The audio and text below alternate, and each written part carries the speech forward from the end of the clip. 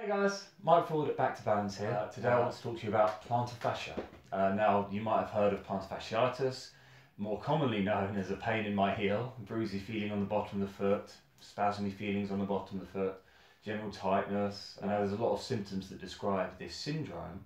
Uh, ultimately, it leads to not being able to walk very well, bruisey feelings throughout the whole of the, the foot, the lower leg, the heel, it can sometimes lead to numbness and tingling in the foot, uh, definitely difficulty in movement, loss of function. Uh, sometimes the worst is in the mornings. So if any of these apply to you, there's a chance you might have plantar fasciitis. I entreat you to just come in and get it checked out. Let's go over what causes it in most cases and what you can start to do about it. Now, plantar fasciitis, a bit like other inflammatory um, I don't want to say disorders, syndromes is the best word, is where the body starts to pull blood in a certain area and it starts taking up the space of all sorts of other important functional tissue. You know, you could imagine if I had 100 balloons and I inflate a few of them, suddenly they're not stretchy, none of them work quite so well, and I'm more likely to get something popping.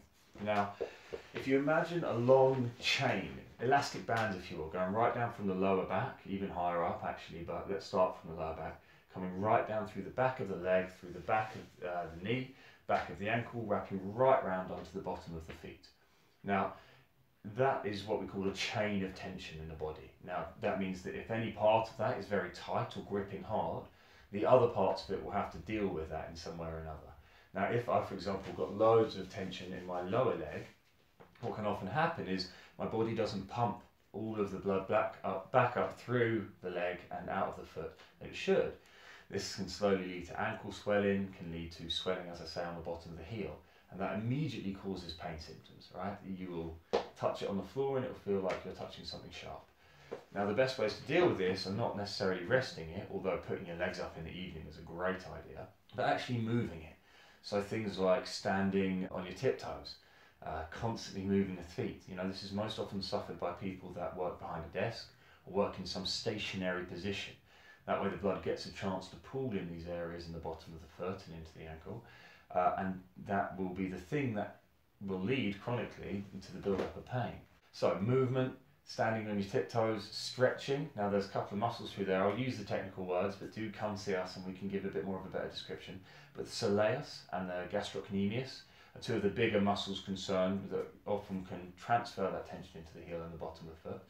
Uh, stretch those, the hamstrings, you know, anything down the back of the body, even the glutes can sometimes help a lot.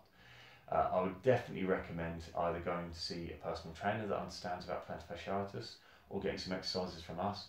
Uh, it's very important to be dealt with, otherwise can sometimes be very immobilizing, causing back pain, hip pain, you know, all sorts of other bits because you're just not moving quite so well or quite so regularly.